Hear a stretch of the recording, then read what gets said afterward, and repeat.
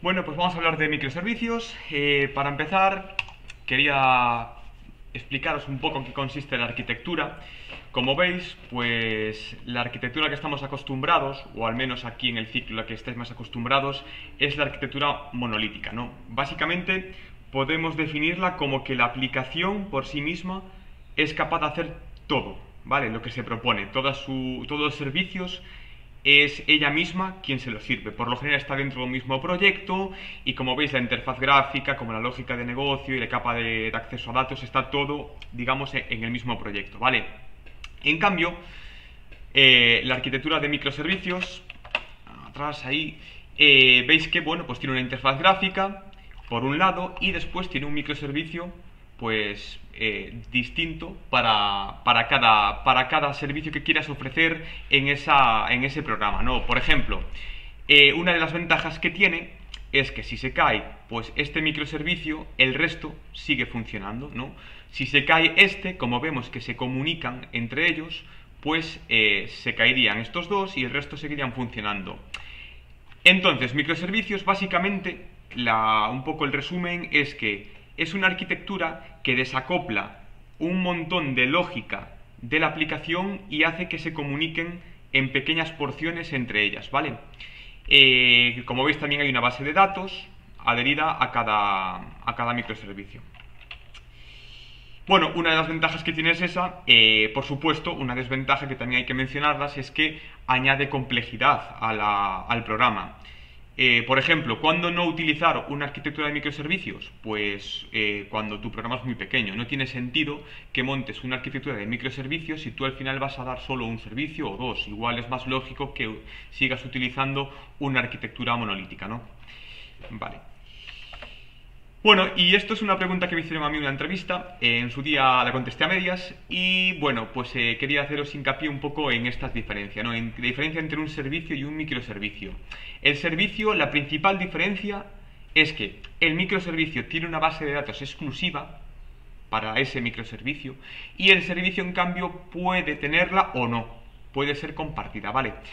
Además, pues el servicio por lo general se encarga de una tarea un poco más grande, ¿vale? Eh, y por sí solo ese servicio funciona. En cambio, un microservicio suele interconectar con otros microservicios, depende de otros y suele ocuparse de tareas pues eh, más específicas. Vale, bueno, eh, para quien no sepa qué es una API, una API es una interfaz de programación de aplicaciones y yo lo definiría para que todo el mundo lo entienda como la puerta a la que tienes que llamar para, para comunicarte con una aplicación, ¿vale?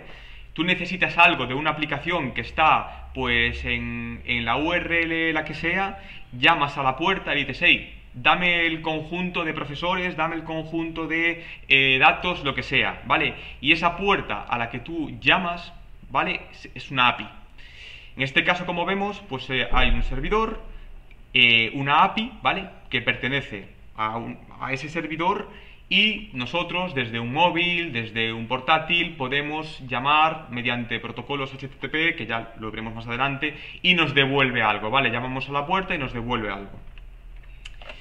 Vale, bueno, eh, lo que vamos a crear es una aplicación CRUD.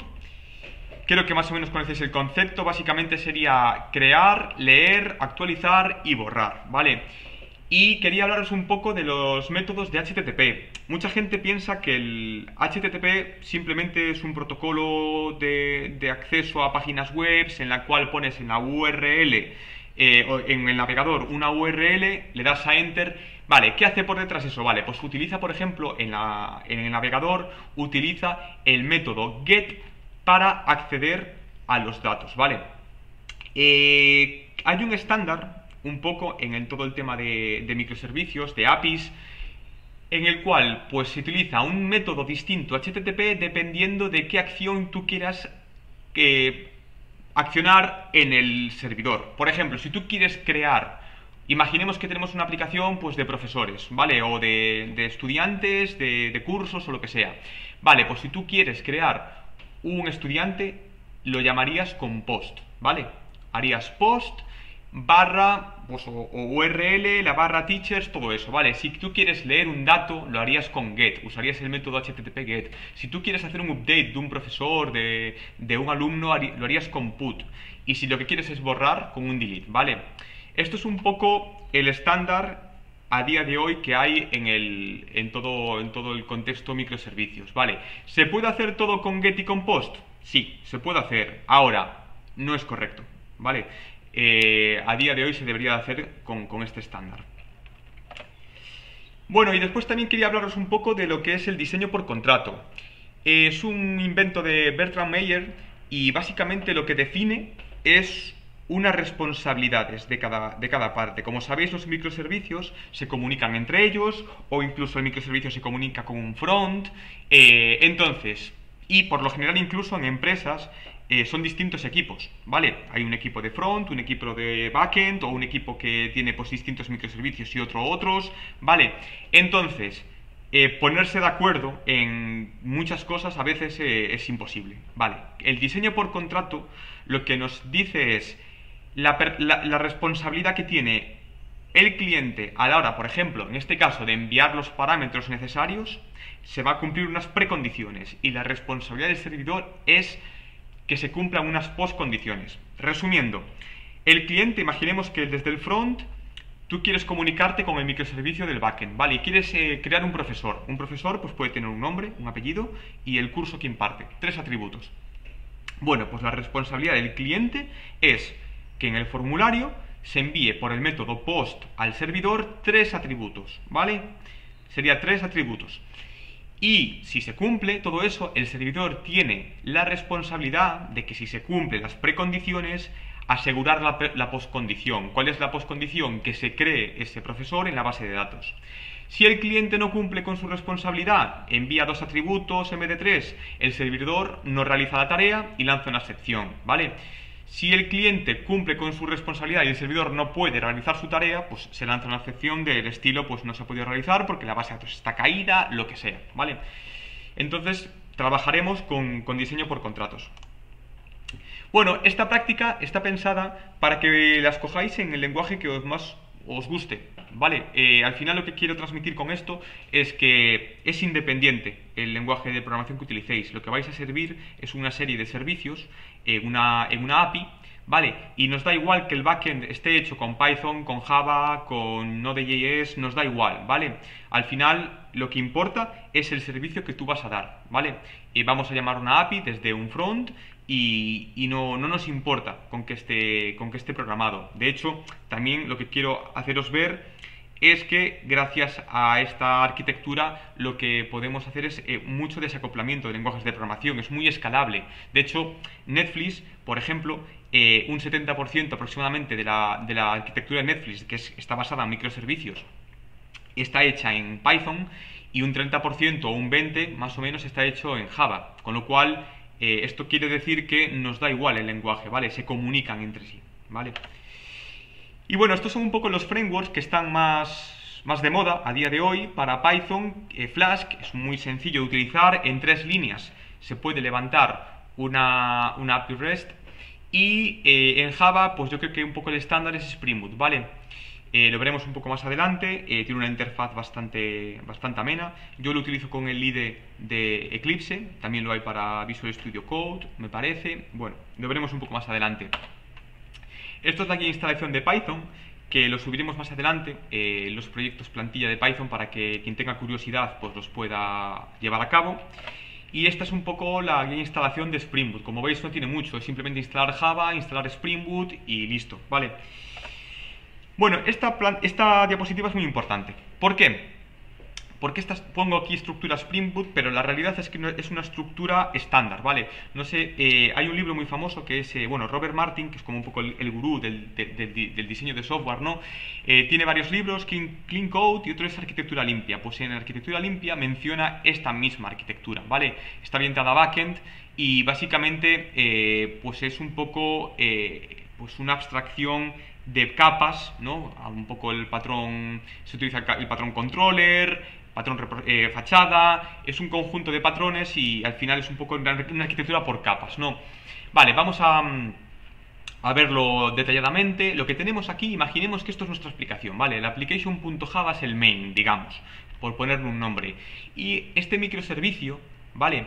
Está eh, en nuestro localhost, cuando nosotros levantemos, que tiene una IP, ¿vale? Nuestro ordenador tiene una IP, dos puntos, el puerto en, el que hayamos decidido levantar esta aplicación, ¿vale? Y nosotros en esta aplicación vamos a dar una serie de servicios. En este caso van a ser cuatro, ¿vale? Un get que va a recoger todos los profesores, por ejemplo, una aplicación de profesores, un delete que va a borrar un profesor con un ID eh, específico, un post en el cual se va a crear un profesor y un put en el cual se va a actualizar un profesor en específico con un ID. Vale, ¿quién, gestiona esto? Vale, pues a modo de resumen, el controller es un poco el dealer, el broker, el que gestiona las peticiones. Vale, ah, nos ha llegado una petición get a teachers. Vale, pues yo ya sé lo que tengo que hacer. Se lo voy a pasar al service, ¿vale? Y iríamos al siguiente bloque, ¿vale? Que sería servicio. Servicio, como su nombre indica, es eh, donde se implementan y definen todos los servicios que van a tener nuestra aplicación, ¿vale? De esta manera estamos desacoplando la gestión de las peticiones con los servicios que vamos a dar. Y por último vamos a ir al repositorio, que viene siendo una conexión a la base de datos que hace como un poco el patrón fachada y nos desacopla el acceso a base de datos de los servicios, ¿vale? Por último también el modelo, que bueno, no, no, nos está dando ningún servicio en sí, ¿vale? Pero es, modelo lo conocemos todos, ¿no? Pues la clase persona, la clase profesor, que tiene unos atributos, una serie de métodos, ¿vale? Bueno, y quiero hacer un poco hincapié en estas flechas eh, negras y en los use, ¿vale? ¿Esto qué quiere decir? Que hay unas dependencias, y las dependencias vienen de arriba a abajo. Y un poco para que lo veáis claro, es, si nosotros, imaginemos que aquí en microservicio hay una interfaz, ¿vale? Una interfaz gráfica hecha, pues lo que queráis, en HTML, lo que sea.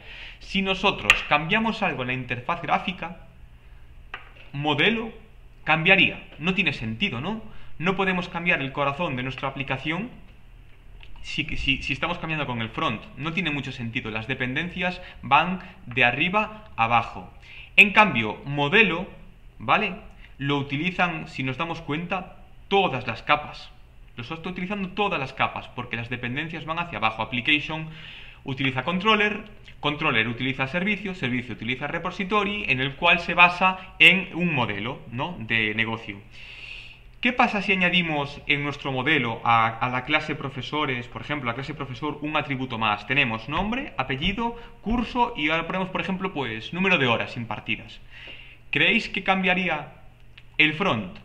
Pues probablemente sí, porque ya solo para crear un profesor igual tenemos que añadir un nuevo atributo más en el, formulario, ¿no? Controller igual debería tener en cuenta a la hora de que llegue en una petición post un, atributo más, con lo cual, eh, con esto quiero decir que la parte, el corazón de nuestra aplicación no debería cambiar si cambia algo en el front, en cambio si nuestro corazón de nuestra aplicación, nuestro modelo cambia, va probablemente a hacer cambiar todo el resto de capas, ¿vale? Es como un poco cómo funciona esto. Por eso las dependencias van de arriba abajo. Y esto en resumen es que nunca llaméis a métodos de abajo arriba. No tiene sentido que service llame a controller. No tiene sentido que repository llame a servicio. Siempre de arriba abajo, ¿vale? Bueno, eh, esto es un poco la herramienta que vamos a, utilizar para testear nuestra aplicación. Se llama Postman, es un poco también el estándar que hay un poco en el mundo laboral y más adelante veremos un pequeño tutorial que os voy a hacer para, para, testearla, ¿vale? Simplemente lo que quiero hacer aquí un poco hincapié es que podemos testear, por ejemplo, Get, como os dije antes, si vamos a, nuestra, a nuestro navegador, Chrome, Firefox, ponemos localhost dos puntos donde esté levantado el puerto de nuestra aplicación barra teachers, estamos haciendo un Get y nos devolverá un JSON en el body con todos los profesores, pero no podemos testear el delete, el post y el put fácilmente, ¿vale? Pues Postman nos facilita toda esa gestión, ¿vale? De, testeos. Como veis, bueno, aquí está la URL para descargarla y después, nada, instalamos el ejecutable arrancamos el programa. Después hacemos una demo. Vale, ¿y en qué consiste la práctica? Bueno, los que lo hagáis a distancia, el, user interface no vais a disponer de, ella, sería el, profesor, el, ordenador del profesor, no, tenemos aquí preparado un, front en el cual se conectaría con vuestros microservicios. De todas maneras, no os preocupéis porque no pasa nada. Vosotros podéis testear vuestra API con Postman, ¿vale? Después lo vemos. Y vosotros directamente tenéis subido a la plataforma eh, tres proyectos, profesores, cursos y alumnos. Es prácticamente lo mismo. Escoger el que más os guste. Y, y nada, simplemente vamos a hacer ahora una demo de cómo podemos importar un proyecto en Spring Boot os explico un poquito algunos conceptos, algunos archivos importantes del proyecto y vamos a hacer el primer servicio, el primer microservicio que va a ser, eh, por ejemplo, un get de profesores y lo vamos a testear con, Postman para que lo veáis, ¿vale? Vale, bueno, vamos a aquí en, fuera de temario API REST con microservicios, accedemos al drive este, por ejemplo, y nos descargamos, pues, teachers. Vale, tal cual como está en el zip, ¿vale? Arrancamos Spring Boot, si no lo encontráis, bueno, la URL de donde lo descargué está puesta ahí, yo descargo siempre la, versión Eclipse eh, para Windows, en este caso, ¿vale? Y para Postman ya adelanto, quito esto de aquí, adelanto que para Postman también lo mismo, accedemos a la URL eh, y nada, directamente descargamos el ejecutable y lo instalamos. Bueno, pues eh, una vez descargado pues, eh, Spring Boot, para, encontrarlo muchas veces es un poco lioso, a veces aparece aquí, si no vais aquí a Apps, ¿vale? Y ya os aparece aquí, le ponéis Spring y os aparece. Arrancáis todo por defecto y para importar un proyecto es muy sencillo. Vamos a File, Import, vamos a ir a General y vamos a darle a un proyecto ya existente hacia nuestro workspace. Le damos a Next, le damos a seleccionar Archivo, Vamos en este caso a descargas, aquí downloads, teachers, open y finish. Vale, vais a ver cómo eh, de repente nos va a dar errores aquí, ¿vale? Como veis abajo, están trabajando en hacer un buildeo del, proyecto, está instalando las dependencias por detrás, ¿vale? Tiene un montón de dependencias de, de Spring Boot para gestionar microservicios y en un momento no debería darnos ningún problema, ¿vale? Vale, como veis, bueno, lo paré, que va un poquillo lento esto, eh, ya no nos da errores de, dependencias, entonces quiero explicaros un poquito eh, los archivos. Bueno, aquí está el main, vale, como veis exactamente un poco la arquitectura que os, di antes es lo que hay, controller que habla con service, que habla con repository y hay un modelo, que en este caso es teacher, ¿vale? Quería hablaros un poco de los ficheros, un poco de, properties. Por cierto, tenéis aquí un import SQL, si lo veis, podemos abrirlo. Con el notepad mismamente. Y como veis, bueno, pues tenemos ya un insert into. No os comenté que Spring Boot trabaja con una base de datos. Eh, no quise añadirle complejidad al proyecto y metiéndole un, un MySQL o algo, porque bueno, no es tampoco cometido, pero eh, trabaja con una base de datos en memoria que se llama H2, con lo cual cuando arranque el microservicio, ¿vale? Va a hacer todos estos insert en la tabla profesores y vais a trabajar con ella en memoria. ¿Esto qué quiere decir? Quiere decir que mientras el servicio esté arrancado, vais a añadir profesores, vais a borrar y la persistencia va a ser exactamente igual que os hubiese una base de datos. En el momento en el que paréis el servicio o hagáis un reboot del servicio, esos profesores a mayores que hayáis metido se van a perder, ¿vale? Y va a volver a, leer estos inserts y van a aparecer de nuevo los profesores iniciales, ¿vale? Que eso que tenerlo claro al menos. Vale, después, el application.properties, ¿qué es? Bueno, es un poco, pues, las properties que tiene la aplicación. En este caso lo que nos importa es el puerto, ¿vale? 9002.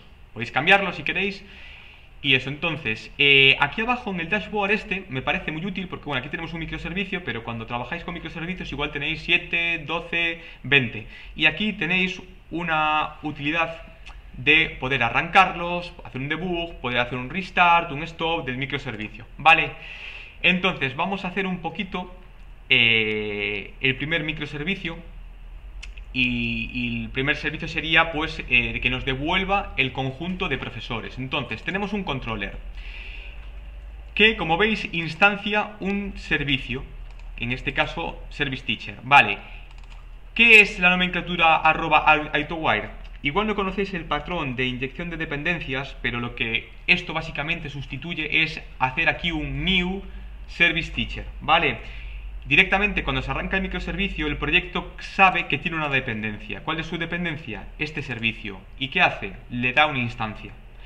esta clase no se tiene que preocupar de hacer un eh, new service teacher, ¿vale? Porque ya el propio proyecto, cuando arranca, se lo está dando. Entonces, tened claro que, pues, eh, esto vais a tenerlo una vez que se arranca el proyecto.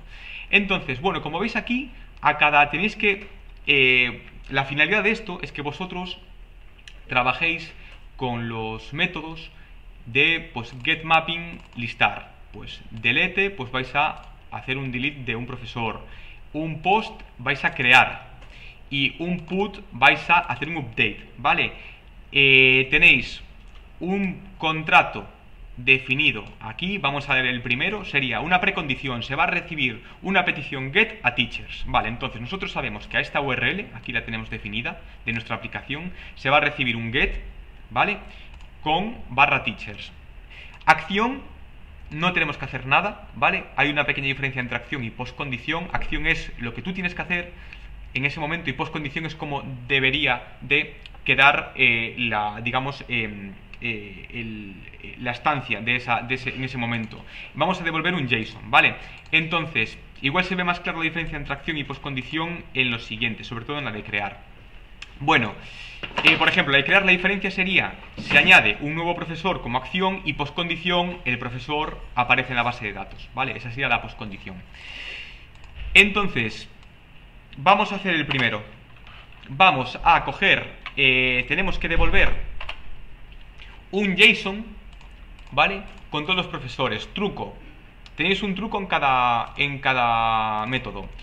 Desde el servicio podemos llamar a una función que ya nos devuelve todos los profesores. Tenemos el servicio teachers, ¿vale? Pues entonces directamente hacemos teachers, punto. ¿Qué nos ofrece? Find all, ¿no? Tiene pinta de que esto pues, nos va a devolver todos los profesores, ¿vale?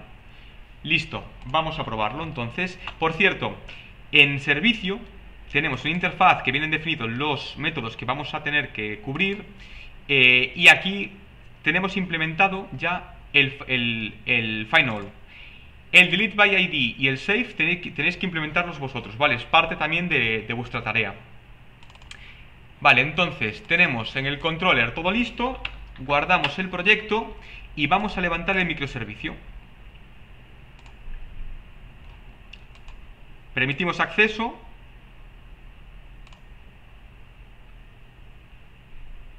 Vale, listo. Nos está diciendo que el Tomcat tiene un, Tomcat eh, incrustado, el eh, Spring Boot, y lo que hace es nos levanta la aplicación en el puerto 9002, ¿vale? Bueno, pues vamos a testearlo esto.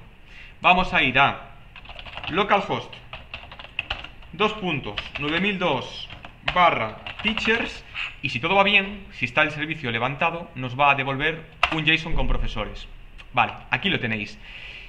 Eh, estamos haciendo un get. Acordaos que desde el navegador directamente el método por defecto de HTTP es get. Para testear el resto de, métodos lo vamos a hacer aquí, eh, en Postman. Os va a aparecer esto cuando lo ejecutéis, le dais a skip directamente, no os queréis cuenta, si no queréis, vamos. Y aquí vais a darle a nueva pestaña. Y aquí tenéis los métodos de HTTP, ¿vale? Entonces, post no nos va a funcionar porque como veis post no está implementado. Aquí postmapping no está implementado, entonces nos daría, nos devolvería un error, ¿vale? Vamos a testear el get y os enseño cómo, funciona. Lo mismo, get de URL localhost. Espera, está aquí mal escrito. Localhost, dos puntos, 9002 barra teachers. Le damos a send y nos devuelve un response, ¿vale? El response que es un body con eh, el JSON, ¿vale? De todos los profesores que tenemos en la base de datos. Y esto es un poco lo que, lo que tenéis que hacer en el proyecto, ¿vale? Lo siguiente que sería hacer, lo siguiente sería hacer, leeros el contrato. Como veis, va a hacer falta que accedáis al servicio para borrar un profesor, con lo cual tenéis que ir aquí al servicio, implementar este método, guiaros un poco de lo que hay aquí, acceder al repositorio, punto, veis un poco que hay por ahí, igual algún delete by ID probablemente, ¿vale? Lo, lo dejáis aquí eh, implementado, volvéis al controller, ¿vale? Y empezáis con este método, ¿vale? Y un poco sería la filosofía y, eso. Después, para verificar que funciona, pues lo testeáis con, con delete aquí, con sería barra el ID del profesor, verificáis que se borra, ¿vale? Y eso es todo.